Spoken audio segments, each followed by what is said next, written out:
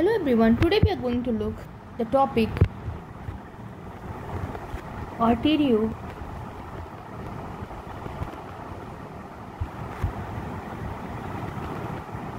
arteriosclerosis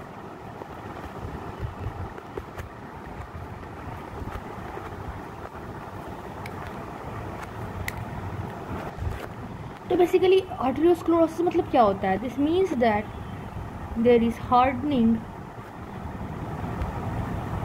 of arteries arteriosclerosis means hardening of arteries ठीक है? इसका मतलब होता है कि जो आर्टरी होते हैं आर्टरी का वॉल थिकनिंग हो जाता है। That is the arterial wall thickening और क्या हुआ था? There is loss of elasticity मतलब आर्टिल वॉल थिकेंड हो जाते हैं और there is loss of elasticity जो आर्टिरियोस्क्लोरोसिस होते हैं, ये कितने पैटर्न होते हैं there are four general patterns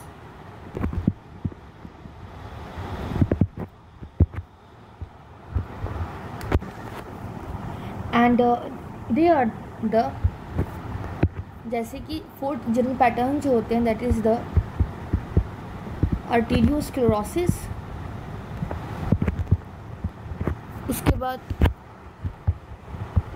Monckeberg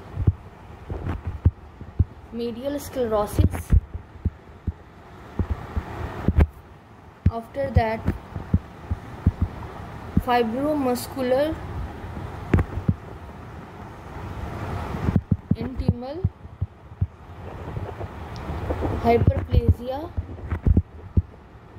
that atherosclerosis तो अब ये तो हमने देखा कि ठीक है आर्टेरियोस्क्लोरोसिस मतलब हार्डनिंग ऑफ़ आर्टरी होता है मतलब आर्टेरियल बॉल थिकेंड हो जाता है फिर इज़ लॉस ऑफ़ इलास्टिसिटी और इनके चार चार पैटर्न होते हैं कौन कौन से? Arteriosclerosis Monckeberg medial sclerosis fibromuscular intimal hyperplasia and atherosclerosis अब हम लोग सबसे पहले देखते हैं कि सबके बारे में देखिए देखेंगे। सबसे पहले आर्टेरियोस्क्लोरोसिस तो आर्टेरियोस्क्लोरोसिस के बारे में देखेंगे। This this affect small arteries all arterioles को अफेक्ट करता है। और ये क्या कर, करता है? Basically this cause the non stream ischaemic injury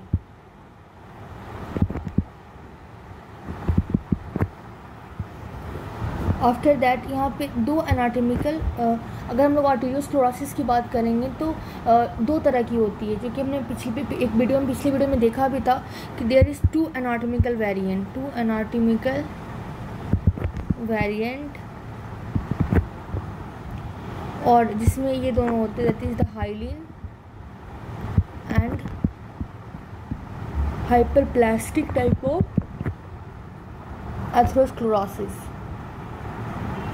और ये जो जो हाइलिन टाइप है और हाइपर प्लास्टिक टाइप है, दोनों के दोनों हाइपर से रिलेटेड होते हैं। After that Monckeberg medial sclerosis अगर हम लोग इसकी बात करते हैं तो इसमें क्या होता है? Here there is calcification here this there is calcification of medial wall of muscular arteries मतलब ये जो मीडियल वॉल है, मस्कुलर आर्टरी का, उसमें कैल्सिफिकेशन हो जाता है, ठीक है? और ये स्टार्ट कहाँ से होता है? This start from internal elastic membrane ठीक है?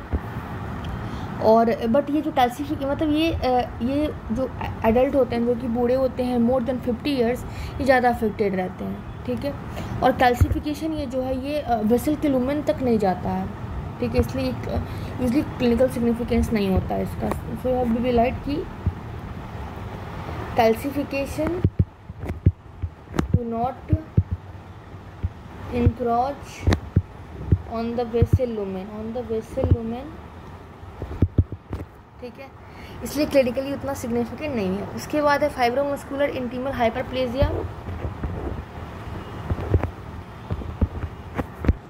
जो फाइब्रोमस्कुलर इंटीमल हाइपरप्लेसिया होता है, ये बेसिकली किसमें होता है? This occur in muscular arteries जो कि लार्जर जो कि बड़े होते हैं जो कि लार्जर देन आर्टीरियोल जो कि बड़े होते हैं आर्टीरियोल्स से। And it is driven by it is driven by inflammation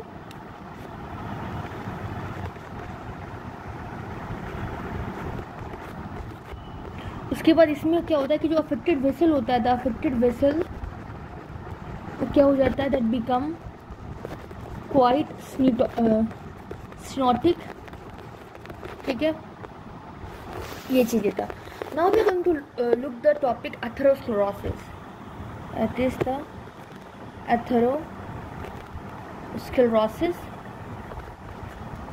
अगर हम एथेरोस्क्लेरोसिस की बात करते हैं तो this underlie the atherosclerosis this underlies the pathogenesis of coronary, cerebral and peripheral vascular disease. Atherosclerosis क्या होता है? Underlie the pathogenesis of coronary मतलब कि कहाँ कहाँ पैथोजेनेसिस होता है? कोरोनरी में सेरेब्रल में एंड पेरिफेरल वैस्कुलर डिज़ीज़ में. And this cause more morbidity and mortality okay उसके बाद, अब अब, इसके बाद देखते हैं। कि जो एथ्रोस्क्लोरोसिस बेसिकली होता है, ठीक है ना? वो कैसे मतलब क्या चीज़ से डिटरमाइन होता है? तो the atherosclerosis this is determined by combination of combination of acquired इसका एग्जांपल जैसे कि कोलेस्ट्रॉल लेवल स्मोकिंग हाइपरटेंशन ठीक है?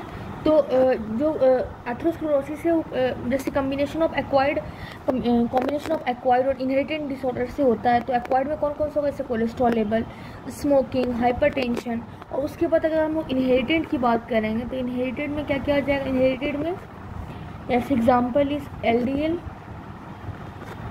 low density lipoprotein then receptor gene mutation and gender and age associated risk factor. ठीक है? तो एथ्रोस्क्लोरोसिस की क्या से डिटरमाइन होता है? This is determine by the combination of acquired example is cholesterol level smoking hypertension inherited में example LDL receptor gene mutation and gender and age associated risk factor ये सब हो गया अब जो एथेरोस्क्लोरोसिस होता है ना this cause atherosclerosis this cause intimal lesion जिसको बोलते हैं कॉल्ड एथोरोमास, जिसको लोग क्या बोलते हैं? एथोरोमास बोलते हैं। और जिसको हम लोग और भी कहते हैं एथोरोमेटस प्लैग और atherosclerotic plaque. This is also called as also called as atheromatous या फिर एथ्रोस्क्लेरोटिक प्लैग। अब जो इंटीमल लीजन जो एथरोमास जो करवाता है, ये बेसिकली क्या होते हैं? तो ये जो एथरोमास जो होते हैं this protrude in this protrude into vessel का लुमेन वेसल लुमेंस ठीक है? उसके बाद क्या होता है कि जो एथरोमेटस प्लैग होते हैं एथरोमेटस प्लैग जो होते हैं, क्या क्या चीज़ से बना होता है? They consist of they consist of raised lesion ठीक है मतलब थोड़ा उठा हुआ लीजन होता है, ठीक है ना? विथ क्या होता है इसमें? सॉफ्ट कोर ऑफ़ लिपिड इसमें क्या क्या होते हैं? जैसे कि हुआ कोलेस्ट्रॉल ठीक है ना? कोलेस्ट्रॉल ईस्टर एंड ये क्या होते हैं? This is covered by with fibrous cap ये एथेरोमस प्लैक का देख लिया। अब हम देखेंगे कि हम ठीक है, ये मैकेनिकल ऑब्स्ट्रक्शन तो करता है ये ब्लड को। एथ्रोस्क्लेरस जो प्लैग है, वो ऑल्सो क्या करता है? ठीक है ना कैथो कैथोस्ट्रोपिक ऑब्स्ट्रक्शन कर देता है वेस्कुलर थ्रोम्बोसिस में। ठीक है? तो यहाँ पर हम लिखेंगे कि जो ये होता है एथ्रोस्क्लोरोसिस जो बेसिकली होता है, ये क्या करता है? It mechanically atherosclerosis it mechanically obstruct the blood flow और जो एथ्रोस्क्लोटिक जो प्लैग होता है, वो रप्चर कर जाता है, ठीक है ना? कभी कभी रप्चर भी कर जाता है तो कभी प्लैग जो होते हैं can rupture it can rupture leading to इससे क्या होता है? कैथोस्ट्रोपिक ऑब्स्ट्रक्टिव वैस्कुलर थ्रोम्बोसिस कर देता है। ठीक है? और क्या करता है जो एथरोस्क्लेरोटिक जो प्लैग होता है ना प्लेक्स ये क्या कर देता है? इंक्रीज कर देता है the diffusion distance the diffusion distance from lumen to media and जिससे क्या हुआ था this lead to ischaemic injury जब इससे क्या, अब डिस्टेंस बढ़ गया तो चिमिक इंजरी हो जाएगा, उसके बाद क्या हो जाएगा there will be may be there will be aneurysm formation okay अब नाउ वी विल लुक की what are the risk factor that is related with atherosclerosis so now we're going to look what are the risk factors risk factors related to atherosclerosis. तो risk factor में हम देखते हैं इसमें basically क्या होता है कि अलग अलग तरह के रिस्क होते हैं, ठीक है ना? जैसे एक कॉन्स्टिट्यूशनल रिस्क फैक्टर होता है, एक मोडी मोडिफाइबल रिस्क फैक्टर होता है, ठीक है? तो हम देखेंगे सबसे पहले। रिस्क फैक्टर बेसिकली जो होता है, उसमें कुछ जो होते हैं, वो कॉन्स्टिट्यूशनल होता है मतलब कि लेस कंट्रोल लेवल और कुछ जो होते हैं एक्वायर्ड होते हैं, ठीक है ना? कुछ एक्वायर्ड होते हैं। तो सबसे पहले हम देखते हैं कॉन्स्टिट्यूशनल रिस्क फैक्टर इसमें कौन कौन से आते हैं? सबसे पहले ये देख, देखते हैं जेनेटिक्स तो अगर हम लोग एथ्रोस्क्लोरोसिस की बात करते हैं तो जो फैमिली हिस्ट्री होता है ना, बहुत इंपॉर्टेंट होता है रिस्क फैक्टर होता है एथ्रोस्क्लोरोसिस के लिए, ठीक है ना? कुछ मेंटेलियन डिसऑर्डर जो होते हैं, वो बहुत मतलब स्ट्रांगली एसोसिएटेड होते हैं एथ्रोस्क्लोरोसिस के लिए. जैसे एग्जांपल में आप देखोगे फैमिली हाइपरकोलेस्ट्रीमिया बट वो बहुत कम परसेंटेज ऑफ़ केसेस में होते हैं. जो बेल इस्टेब्लिश फैमिलियल डिपोजिशन होते हैं एथ्रोस्क्लोरोसिस चिमिक हार्ट डिज़ीज़ का, वो पॉलीजेनिक होते हैं। तो अब लेट मी राइट है तुम जेनेटिक्स की बात यहाँ पे लिख लेते हैं कि जो फैमिली हिस्ट्री होता है the family history this is the most important this is most important independent risk factor for atherosclerosis क्या है? This most important independent risk factor for atherosclerosis होता है। कुछ जो certain Mendelian certain Mendelian disorder they are also strongly associated with atherosclerosis ठीक है?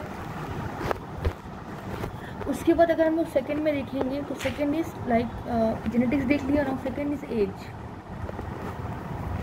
ठीक age भी जो एक, एक होता है डोमिनेंट इन्फ्लुएंस होता है ठीक है ना?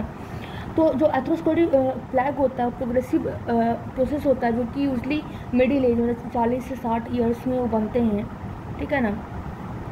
और चालीस से साठ ईयर्स के बीच में जो एम आई का चांस होता है वो भी बहुत चार पाँच टाइम्स बढ़ जाता है ठीक है? और जो इस्मिक हार्ट डिज़ीज़ से भी डेथ रेट बाद में चल के एडवांस एज में बढ़ जाता है। ओके तो एजिंग के साथ क्या होता है? तो एजिंग एजिंग के साथ क्या होता है? There tendency there is tendency for outgrowth of haematopoietic clones क्योंकि वहाँ पे क्या होता है हिमेटो टेंडेंसी होता है आउटग्रोथ के लिए, किसके हिमेटो पोइटिक क्लोन्स क्लोन्स का आउटग्रोथ होता है। इसलिए हम इसको बोलते हैं C H I P that is the clonal haematopoiesis of intermediate potential this is called as this is called as clonal haematopoiesis of intermediate potential ठीक है? एंड अब जैसे हीमाटोपोइटिक क्लोन्स है चिप की जैसे ये हो गया टेंडेंसी और ग्रोथ हो गया इसका। तो इसे जब इसमें क्या होता है दिस कैरी ए म्यूटेशन ठीक है ना? और मेनी ऑफ़ दिस क्या करते हैं अफेक्ट करते हैं मतलब many of this many of this क्या करते हैं अफेक्ट करते हैं डीएनए के मॉडिफिकेशन को डीएनए मॉडिफिकेशन और क्या करते हैं ट्रांसक्रिप्शनल रेगुलेशन है जैसे कि टी टू इनकोडिंग एंजाइम होता है, वो कन्वर्ट कर देता है मिथाइल सिस्टोसिन को फाइव हाइड्रोक्सी मिथाइल सिस्टोसिन में, ठीक है ना? जिससे क्या होता है risk of developing haematological malignancy बढ़ जाता है ओके तो बेसिकली यही होता है कि मतलब कि जब चिप में म्यूटेशन होने लगता है तो सिल्वर मोडिफिक प्रोलिफिकेशन करवाने लगता है टी टू टू ये सब। और ये ये क्या करता है इम्पैक्ट दिलवाता है inflammatory response of mononuclear cell और इसलिए ये एथोस्क्लोरोसिस का इन्फ्लुएंस करता है। आफ्टर दैट थर्ड फैक्टर में क्या देखेंगे? C factor will be gender gender में क्या होगा? जो post menopausal post menopausal women होते हैं, ठीक है ना? ये क्या होते हैं? दे आर प्रोटेक्टेड रहते हैं. दे आर सॉरी वो प्रोटेक्टेड कैसे रहेंगे? Pre menopausal women I am sorry pre menopausal women जो होते हैं, वो प्रोटेक्टेड रहते हैं किससे अगेंस्ट एथ्रोस्क्लोरोसिस से। ठीक है? मतलब एज कंपेयर टू जो same age compare to same aged man same age man ठीक है? इसीलिए myocardial infarction other complication of atherosclerosis ठीक है ना, वो अनकॉमन रहता है। मतलब कॉमन नहीं होता है प्री मेनोपोजल वुमेन में। अनलेस कि उनको डायबिटीज़ हो जाए हाइपरलिपिडीमिया हो जाए सीवियर हाइपरटेंशन हो जाए, ठीक है? लेकिन अगर यही हम लोग बात करें कि आफ्टर मेन्यूपॉज क्या होता है, जो incidence of atherosclerosis related disease हो जाता है, वो बढ़ जाता है मैन के कारण भी, ठीक है ना? और हम लोग ने ऐसा भी ट्राई किया कि इस्ट्रोजन हम लोग रिप्लेसमेंट थ्योरी दिया रिप्लेसमेंट दिया, ठीक है ना कि ठीक है? लेकिन उससे और चांसेस ऑफ़ कार्डियोवास्कुलर डिस्क और बढ़ जाता है, ठीक है? तो ये चीज़ें हैं। ये था एक कॉन्स्टिट्यूशनल रिस्क फैक्टर अब हम सेकेंड देखेंगे that is the modifiable modifiable major risk factor तो मोडिफाइबल मेजर रिस्क फैक्टर में हम लोग देखते हैं कि सबसे पहले क्या है? The first one is hyperlipidaemia और भी होता है हाइपरटेंशन भी होता है सिगरेट स्मोकिंग होता है डायबिटीज़ मेलाइटस होता है there are many modifiable risk factor तो सबसे पहले हम हाइपरलिपिडीमिया की बात करते हैं। तो हाइपरलिपिडीमिया में क्या होता है बेसिकली uh, इसको बेसिकली हम और, और भी वर्ड यूज़ करते हैं that is also called as also called hypercholesterolaemia ठीक है हाइपर कोलेस्ट्रोमलोमिया में भी बोलते हैं। एंड ये क्या होता है? ये एक major risk this is a major risk factor for atherosclerosis ठीक है? Even in the absence of even in the absence of other risk factor other risk factor के एबसेंस में भी डिसबर्ग ठीक है? जो हाइपर एलिपिडीमिया जो हाइपर कोलेस्ट्रीमिया है, ये सफिशियंट होता है। दिस इज़ सफ तो ये लिख रहे थे कि जो हाइपर कोलेस्ट्रीमिया है हाइपर कोलेस्ट्रोलोमीमिया है। ये क्या है? सफिशियंट होता है। This is sufficient to initiate the lesion development. मतलब लीजन के डेवलपमेंट को इनिशिएट करने के लिए बहुत मतलब ये है। उसके बाद अब आ, हम जानते हैं कि जो सीरम कोलेस्ट्रॉल होता है सीरम कोलेस्ट्रॉल में जो मेजर कंपोनेंट होता है वो क्या होता है? That is the increase L D L cholesterol. अब जो एल होते हैं। एल डी क्या होता है? This this are those lipid cholesterol protein basically lipid this is the lipid cholesterol protein और ये क्या करता है? ये डिलीवर करता है कोलेस्ट्रॉल को। This deliver the cholesterol to peripheral tissue ठीक है और ये पेरीफेरल टिश्यू में ले जाता है। जबकि एचडीएल क्या करता है? कोलेस्ट्रॉल को पेरीफेरी से लेकर के लीवर के पास लेके जाता है बिलियरी एक्सक्रीशन के पास ले जाता है। तो हायर लेवल एल जो होता है, जिसको बोलते हैं गुड कोलेस्ट्रॉल और रिस्क को रिड्यूस करता है बट ये नहीं, ठीक है? उसके बाद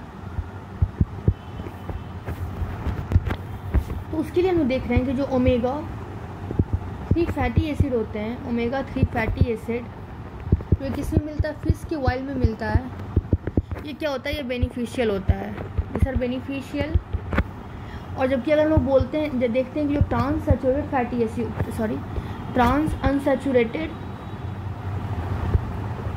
fat होता है, ये कैसे प्रोड्यूस होता है? By the artificial hydrogenation of polyunsaturated oil से जो आता है, ठीक है ना? ये क्या करता है? ये अफेक्ट करता है कोलेस्ट्रॉल के प्रोफ़ाइल को। ठीक है, उसके बाद क्या है कि जो स्टैटिन होता है स्टैटिन्स ये क्लास ऑफ़ ड्रग है this are class of drug तो ये क्या करता है? That lower the circulating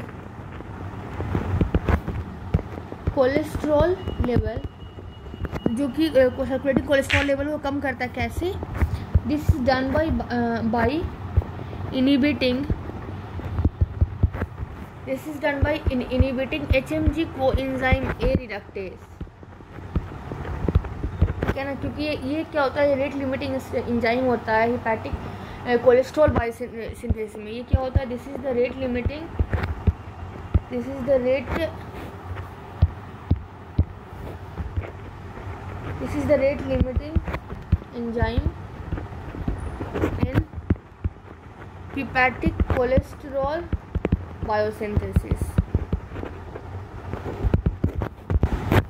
और जो स्टैटिंग्स होते हैं, वो क्या करते हैं? This lower the serum cholesterol level ये सीरम कोलेस्ट्रॉल लेवल को लो करते कम करते हैं। और क्या करते हैं? This lower the rate of myocardial infection myocardial infection को भी कम करते हैं।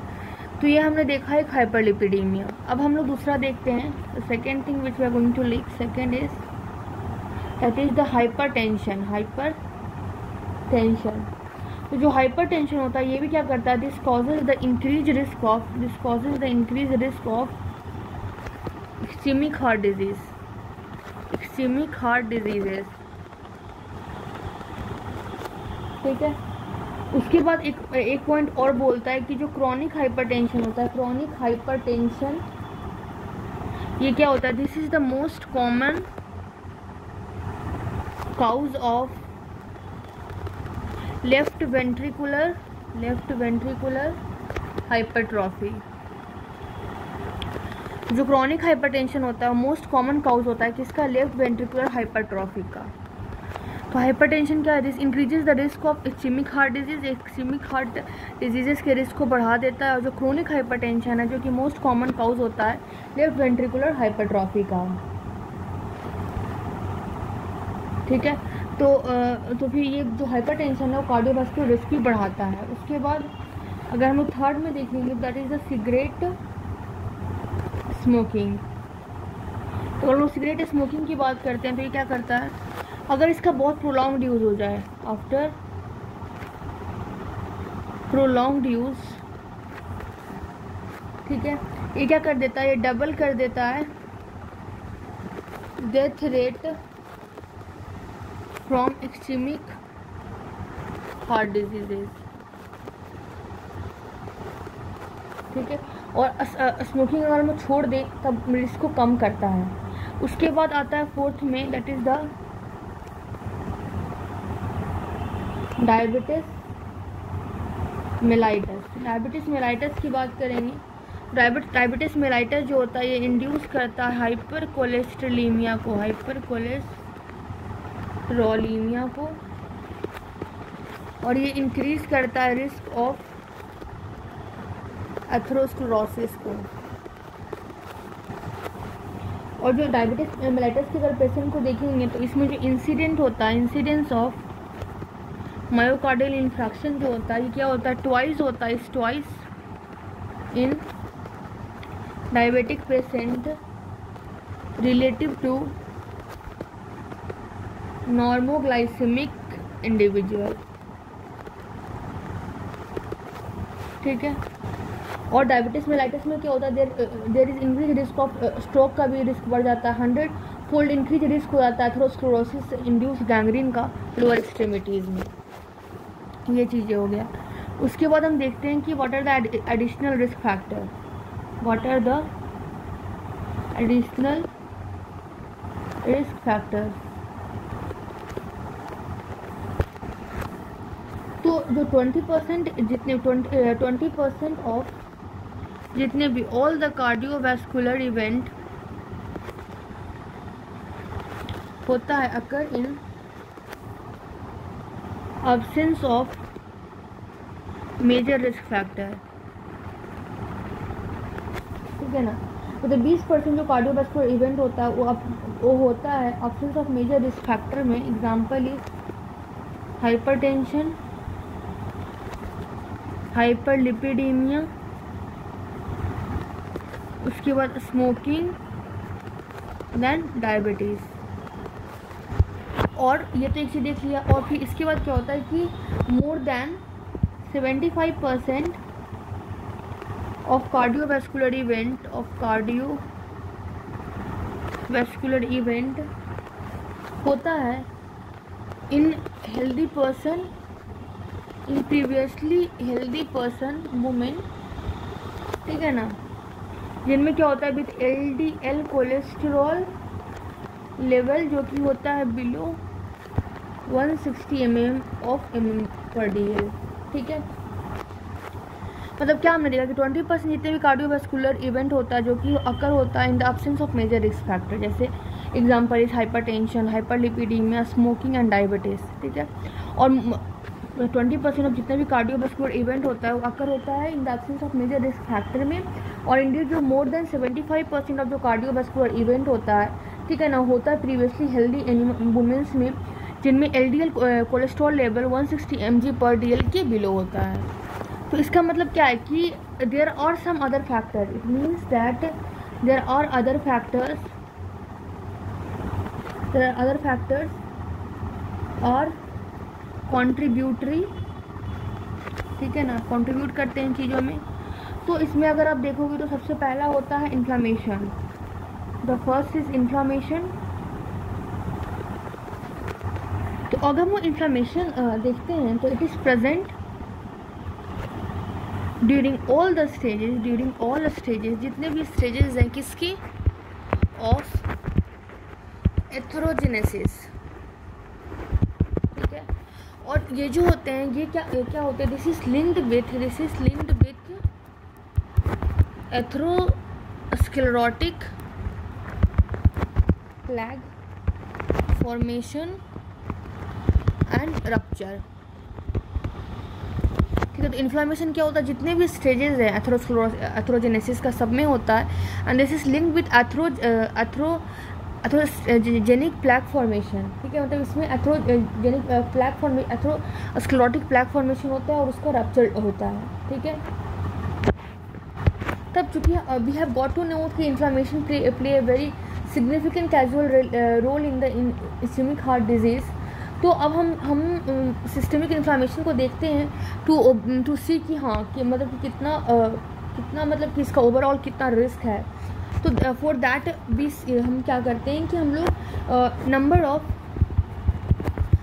circulating marker circulating marker of information हम लोग कर देखते हैं इंफॉर्मेशन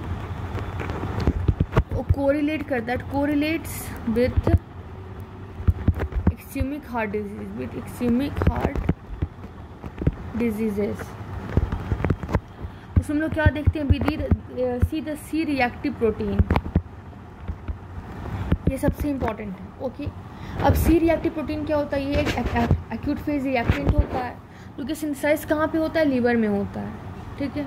ऑल जो सी रिएक्टिव प्रोटीन होता है, वो अपियर नहीं होता है do not appear to be causally मतलब कि रिलेटेड मतलब कि एथ्रोस्क्लोसिस से ही, के कारण ही हो रहा है। ऐसा ज़रूरी नहीं है ओके आफ्टर दैट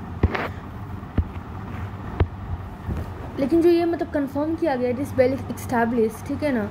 Uh, कि जो प्लाज्मा का जो सी रिएक्टिव प्रोटीन होता है वो स्ट्रांगली स्ट्रॉन्ग इंडिपेंडेंट मार्कर होता है। किसके लिए? To risk of M I stroke peripheral arterial disease sudden cardiac death ठीक है ना? जो कि हेल्दी इंडिविजुअल में भी तुरंत आपको दिख मतलब कभी कभी ऐसा होता है दिखता है और उनको प्रॉब्लम होती है ठीक है? उसके बाद जो सीआरपी का लेवल जो है वो कभी कभी टिपिकली लोअर हो इन कंसर्ट मतलब कि अदर मतलब कि हम लोअर कर सकते हैं सीआरपी का लेवल कैसे? जैसे भाई हम लोग स्मोकिंग छोड़ दें वेट लॉस कर दें एक्सरसाइज करें, ठीक है ना? स्टार्टिंग हम लोग ले उससे, ठीक है? तो रिस्क कम होगा। इन्फॉर्मेशन देखा अदर रिस्क फैक्टर्स और क्या क्या हो सकते हैं? Second we can look that is the hyper homocysteine homocystinemia तो इसमें क्या जो सीरम की जो होमोसिस्टिन लेवल होता है serum homocystine level we will write कि सीरम की जो होमो सिस्टीन लेवल होता है, ठीक है ना? ये क्या करता है this this relate with this relate with coronary atherosclerosis और peripheral vascular disease and stroke और वेनस थ्रोम्बोसिस ठीक है? तो सीरम की जो होमोसिस्टिन लेवल होता है क्या से रिलेटेड करता है? That is related with the coronary atherosclerosis peripheral vascular disease after that stroke after that venous thrombosis okay and फिर इसमें एक पॉइंट आता है कि जो होमोसिस्टिन्यूरिया होता है homocystinuria due to rare inborn error of metabolism ठीक है ना? मतलब कि होमोसिस्टिन्यूरिया होता है जो to rare inborn in error of metabolism इससे क्या होता है? There is increase circulating homocystine ठीक है? और इस ये भी प्री मैच्योर वेस्कुलर डिज़ीज़ से रिलेटेड होता है। तो ये हाइपर होमोसिस्टिनिमिया हो गया। After that third is metabolic syndrome तो मेटाबॉलिक सिंड्रोम की बात, के बात करें लेकिन जो सेंट्रल ओबेसिटी होता है उसे सेंट्रल ओबेसिटी ये जो मेटाबॉलिक सिंड्रोम है, ये कैरेक्टराइज होते हैं। This metabolic syndrome is characterize by insulin resistance ठीक है हाइपरटेंशन आफ्टर दैट डिसलिपिडीमिया मतलब कि that is the elevated L D LDL level, depressed HDL level, after that hypercoagulability ठीक है, उसके बाद प्रो इन्फ्लामेटरी स्टेट ठीक है तो मेटाबॉलिक सिंड्रोम में क्या समझे कि सेंट्रल ओबेसिटी के साथ एसोसिएटेड रहता है। और ये आइडेंटिटी जो होता है करेक्टराइज रहता है किससे insulin resistance hypertension dyslipidemia dyslipidemia मतलब एलिवेटेड एच और डिप्रेस्ड एल डी ठीक है? Hypercoagulability pro inflammatory state ठीक है? और इसमें जो डिस्लिपिडीमिया होता है हाइपर ग्लाइसीमिया होता है, ठीक है ना? और जो हाइपर टेंशन होता है सब के सब क्या होते हैं? They are the cardiac risk factor while जो systemic hypercoagulable and pro inflammatory state होता है वो कंट्रीब्यूट करता है एंडोथीलियल डिसफंक्शन और थ्रोम्बोसिस के साथ। तो यहाँ पे हम लिख सकते हैं कि जो डिस्लिपिडीमिया होता है dyslipidemia hyperglycemia and hypertension hypertension this ये क्या होते हैं? They are the cardiac risk factor cardiac risk factor जबकि जो सिस्टमिक हाइपर कोगुलेबल और प्रो इन्फ्लामेटरी स्टेट होता है। ये क्या कंट्रीब्यूट करता है? This contribute to endothelial dysfunction और थ्रोम्बोसिस तो ये हमने मेटाबॉलिक सिंड्रोम देखा। इसके बाद हम देखते हैं।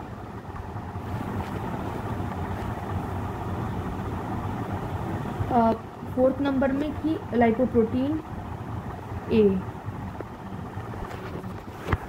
तो जो लाइपो प्रोटीन ए होता है दिस इज़ ये क्या होता है? This is the altered form of L D L ये अल्टर्ड फॉर्म होता है एल डी एल का क्या कंटेन करता है? दिस कंटेन एपोलाइपोप्रोटीन उसका B hundred portion of L D L LDL is is to apo ApoA ठीक है तो एपो लाइपोप्रोटीन ये क्या होता है? This is the altered form of LDL और ये कंटेन करता है क्या? Apo lipoprotein B hundred portion of LDL जो कि लिंक होता है एपो ए से। अब लाइपोप्रोटीन ए लेवल जो होता है, ये किससे एसोसिएटेड होता है? ये एसोसिएटेड होता है with coronary and CVS risk and this is independent of total cholesterol and LDL level.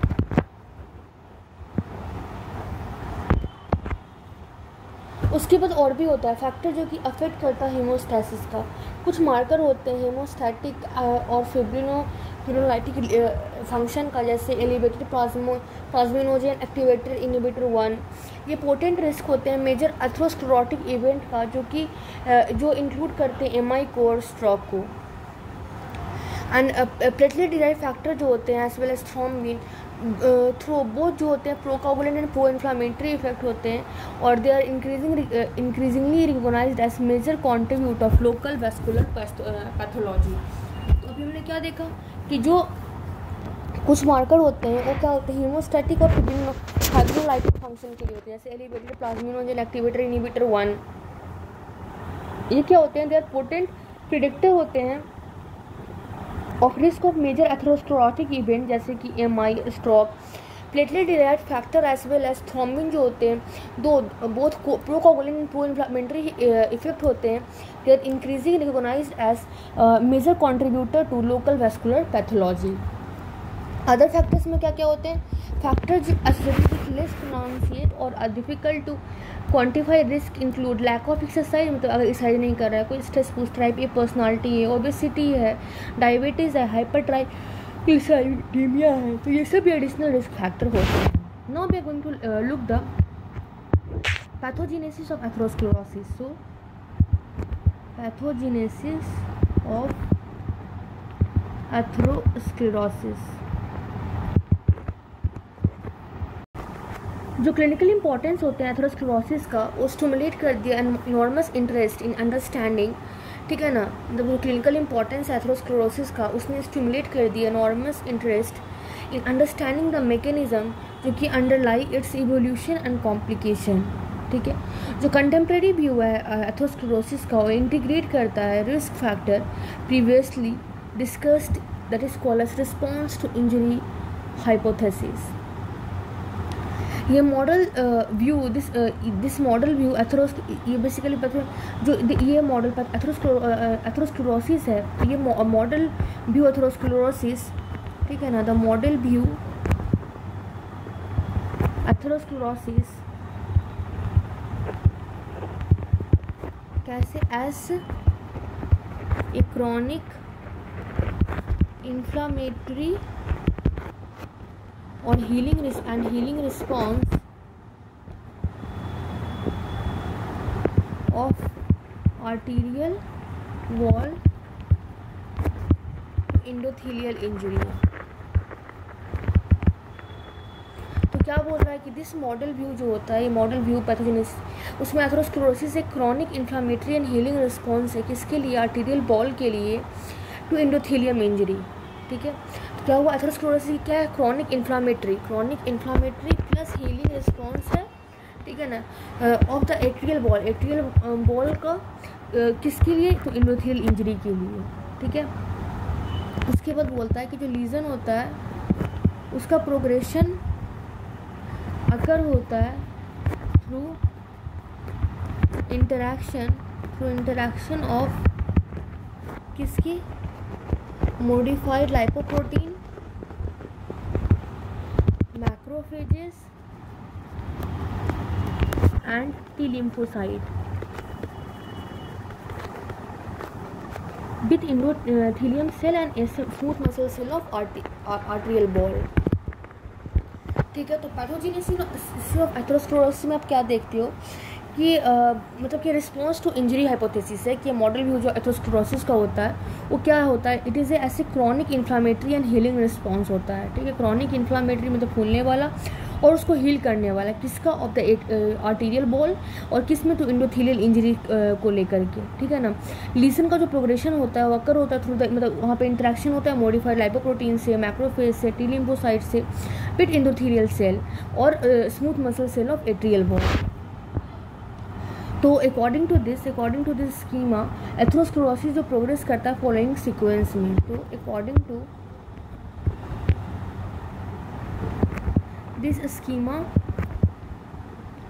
जो एथ्रोस्क्लोरोसिस से प्रोग्रेस करता है in following steps atherosclerosis progress in following sequence तो क्या क्या में? सबसे पहले होता है first is the endothelium endothelial injury होता है। और क्या होता है? एंडोथीलियल इंजरी एंड डिसफंक्शन ठीक है? ये क्या कॉज करता है? Endothelial injury and dysfunction this cause the increased increase vascular permeability इससे वैस्कुलर परमेबिलिटी जो होता है बढ़ जाता है। वैस्कुलर परमेबिलिटी बढ़ जाता है। और और क्या होता है? ल्यूकोसाइड का एडेशन हो जाता है। और क्या होता है थ्रोम्बोसिस हो जाता है। तो क्या देखिए कि इंडोथीलियल इंजरी होता है डिसफंक्शन होता है, जिससे क्या होता है? Cause the increase vascular permeability leukocyte कार्डेशन करवाते हैं और थ्रोम्बोसिस करता है। उसके बाद सेकेंड स्टेप में क्या है? There is accumulation of lipoprotein सबसे पहले इंडोथीलिया में इंजरी हुआ, उसका डिसफंक्शन हुआ, ठीक है? जो कि क्या करता है? इंक्रीज परमेबिलिटी को बढ़ा देता है।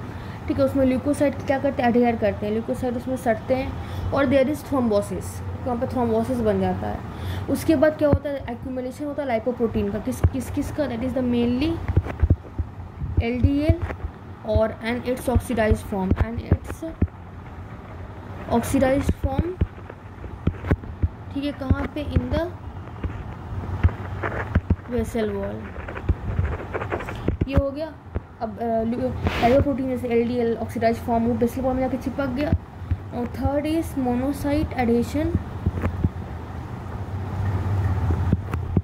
to endothelium उसके बाद क्या होता है, जो मोनोसाइट होता है, वो एंडोथीलियम में जाके एडेशन कर लेता है।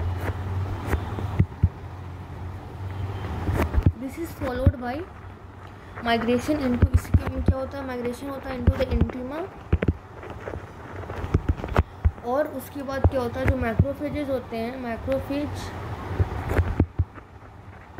transform to foam cell after that fourth step में क्या होगा there will be the fourth step there will be platelet का एडेशन प्लेटलेट एडेशन